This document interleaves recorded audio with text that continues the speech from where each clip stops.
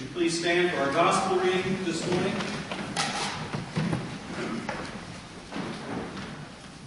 Our sermon text comes from Matthew chapter 2, beginning in verse 1. If you'd like to follow along in the Pew Bible, that begins on the second page of the Newer Testament.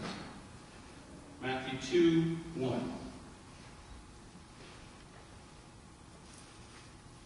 In the time of King Herod, after Jesus was born in Bethlehem of Judea, wise men from the east came to Jerusalem asking, Where is the child who has been born King of the Jews? For we observed his star at its rising, and we have come to pay him homage. When King Herod heard this, he was frightened, and all Jerusalem with him. And calling together all the chief priests and scribes of the people, he inquired of them where the Messiah was to be born. They told him, In Bethlehem of Judea, for so it has been written by the prophet. And you, Bethlehem in the land of Judah, are by no means least among the rulers of Judah, for from you shall come a ruler who is to shepherd my people Israel. Then Herod secretly called for the wise men and learned from them the exact time when the star had appeared. Then he sent them to Bethlehem, saying, Go and search diligently for the child. and when you have found him, bring me word, so that you that I may also go and pay him homage. When they had heard the king, they set out, and there ahead of them went the star that they had seen at its rising until it stopped over the place where the child was. When they saw that the star had stopped, they were overwhelmed with joy. On entering the house, they saw the child with Mary his mother, and they knelt down and paid him homage. And then, opening their treasure chests, they offered him gifts of gold, frankincense, and myrrh. And having been warned in a dream not to return to Herod, they left for their own country by another road. This is the good news of our Lord Jesus, Messiah. Let the church hear what the Spirit is saying. Let us pray.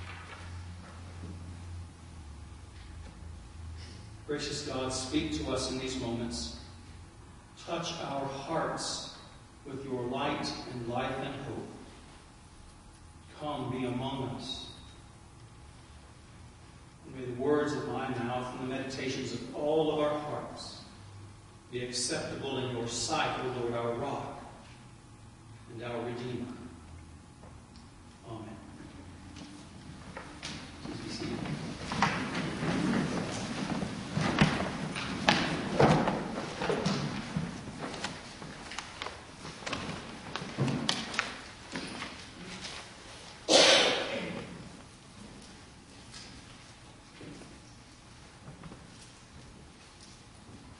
I have a sermon that I wrote, and I'm prepared to preach, but to be honest, I,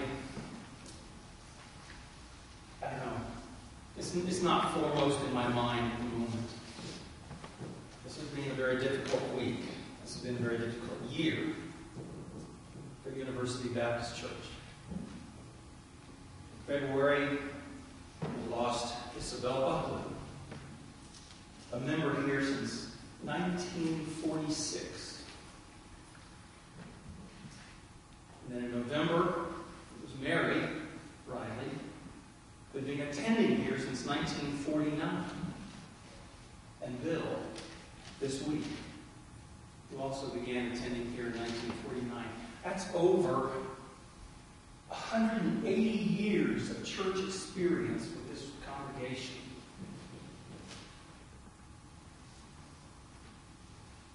Four years ago, it was Kenny Hughes and Carl Brandt.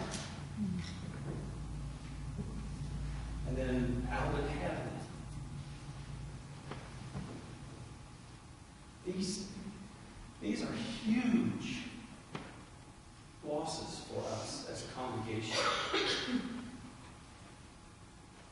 And even though I wrote wrote this sermon about kings and strangers coming to, to worship the newborn child and looking for the presence of God being made manifest in our midst. I think that the, the events of this week kind of override that for me. I don't know about you. So I'm winging it. You may or may not want to record this, Kay. Heaven only knows where it's going. I sure don't.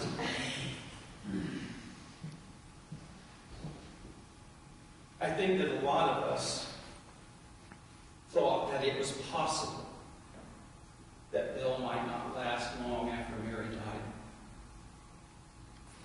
62 years is a long time to spend with a person, a partner in life in every way. That I could never have imagined that it would be this way. Could never have imagined that a fall down a flight of stairs would precipitate Bill's passing. And the tragedy of that, I, had a, an email this week from a friend who asked the circumstances, what had happened, and I, I told her what had happened. And I said, honestly, it just breaks my heart. And it does. It just breaks my heart. These are people Isabel, Mary, Bill, Kenny, Carl, Alvin, people who had given their lives to the service of God through University Baptist Church. They weren't all the same kind of people, and they didn't have all the same kinds of gifts, and they didn't offer the same kinds of service, but what they had, they gave.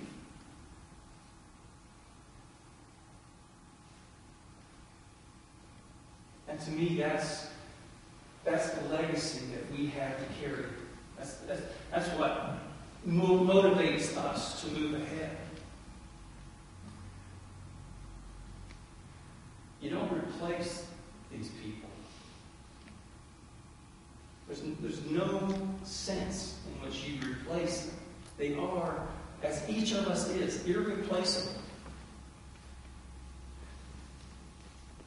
But they are for us exemplars. They are for us epitomes, if you will, of, of how to live lives of service. And these are, these are smart people. You know, the world looks at, at the churches and sees division and infighting and, pardon me, nutcases on every side. I mean, come on. These guys predicting the return of Christ last May. Well, huh. what are you going to do with that? But what the world can't see, what the world doesn't understand, what people who are outside the churches or, or in some way inherently critical of the churches don't see is that there is a reality that goes beyond science, and there's a reality that goes beyond the physical manifestations of the world that are all around us. There is a spiritual reality in each person, whether or not we want to admit it, or whether or not we want to recognize it, is immaterial. It's there. And we express that reality in the way we live our lives. And as I look back at this, this past year, I see so much experience, so much wisdom, so much stubbornness.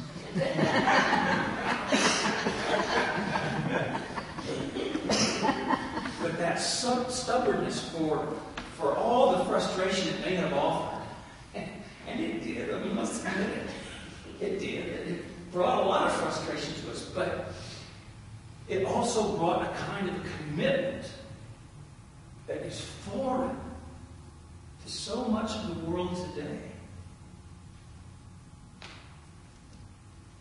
I'm speaking not long ago with a pastor who considered it a wonderful thing if the church leaders in, in his congregation came twice a month to worship.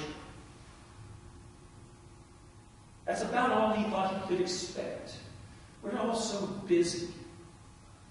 We all have so many other things that we want to be doing. That worship, well, you know, just kind of gets bumped down the list. And yet, for Isabel and Bill and Mary, come what may, the doors were open. They were here. They were here to serve and to give of themselves. Other stuff didn't take precedence. Which is not to say that their, their lives were sort of monochrome, that this was all that there was. Bill was a world renowned educator. And people looked to him with respect and honor because of what he knew and, and because of who he was. And Mary, who would, we were talking to some of us after, after the memorial service about how Mary would have just been so frustrated with all the fuss we were making over her. And would never have thought about her life in terms of the numbers of people that she had an impact. And yet, literally tens of thousands, if not hundreds of thousands of people on every continent, save Antarctica, knew her and had their lives touched by her.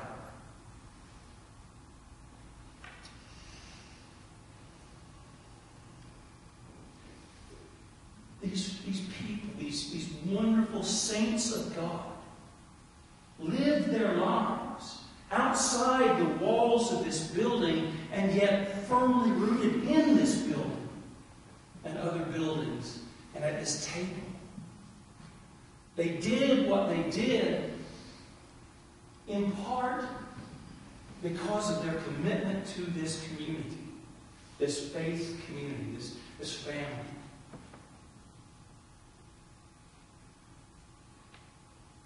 Their faith, their belief, their commitment unwavering. And it motivated them to do great things for the vision of God.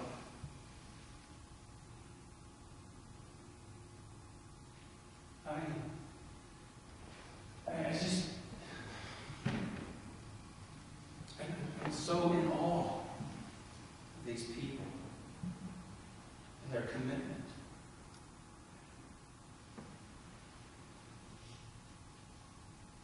And for some reason, it's been in my mind after I heard about Bill. There was a, a council of ministries meeting not long after I got here. And, and Bill was talking about some concerns that he had in, in terms of the support ministry of the church, the, the facilities, and so on. And afterwards, he came up to me and he almost had tears in his eyes. He looked so sad. And he said, I don't mean to be so negative. And I thought then, and I have thought many times since, he isn't negative. He wasn't negative. He was realistic. He was honest. And he kept, kept us, kept me honest to the physical realities of this ministry. That was a gift he had. And people might have thought he was negative. If they did, I don't think they understood. His concern for what we did and for our physical presence in the community was so great that he would say things that we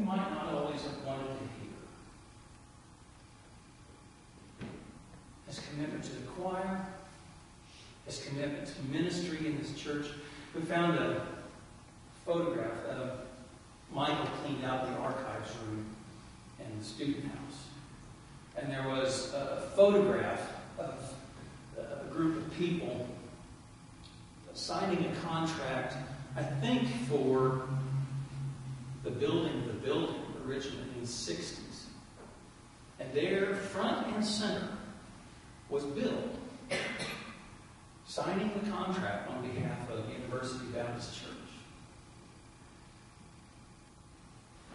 Firmly rooted in this world, and yet firmly rooted also in a world beyond measure. That's a legacy for all it's probably, what's the word? Dangerous, I guess, for me to say this. But I don't know. It, my sense is that all of us have stories about Bill and Mary and Isabel and Kenny and Carl and Alvin that we can share, and I hope we do. Share them promiscuously. Share them widely and freely. And I would encourage you to follow the example of those stories. To live lives of commitment. To live lives of service. Not for some reward that may be out there in the world or may be out there beyond the world, but because that's who, who we are. That's what Christianity means. It means giving of ourselves constantly, consistently. Not for reward, but because of an impulse, an impetus, a commitment, a stubbornness to do the best and be the best that we can be, whatever it is that we're doing. So share your stories often. Repeat them often. It's in the stories of our lives that we see the work of God revealed.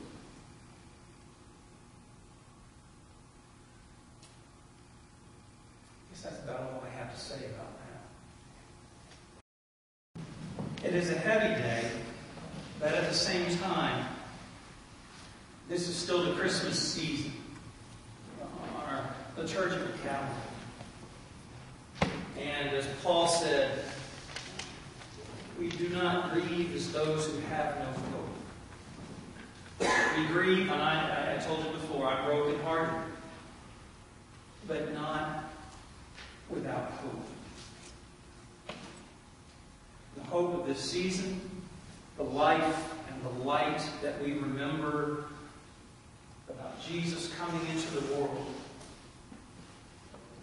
is so so much a part of who these people were. Kenny, Carl, Alvin, Isabel, Mary, Bill. We do them dishonor, I believe, if we grieve without hope. We will grieve. We are grieving. And we'll grieve for a long time. That's the way life is.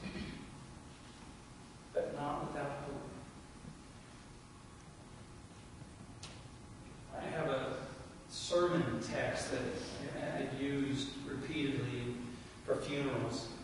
I won't use it soon. uh, but it, it, was, it was with Jesus uh, after his death. Was buried in the tomb.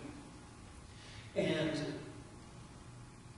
Pilate places a guard on the tomb because he's concerned that the, the disciples will break in and steal the body and start making wild and, and uh, unsubstantiated claims about it. And when, when the, the power comes and the life comes and the light comes, it isn't from outside the tomb, it breaks out from the inside. And I use that as a way to say that death is not the end. For those of us who uh, are, are living our lives in relationship to Christ, the end is life. The end is always life. So we don't grieve as those who have no hope. We grieve with joy, with solemnity, with sobriety. We grieve with hope. Let us pray. God of all life, giver of light and love and joy and hope. We ask that you be with us in these days in which we feel so deeply these losses. Especially be with Jonathan and Olivia, David and Megan, Noreen and Tom, Kate, Beverly, and Ian, and all of the family. Comfort them. Give them your presence. Fill them with your hope. Be with us always, we pray.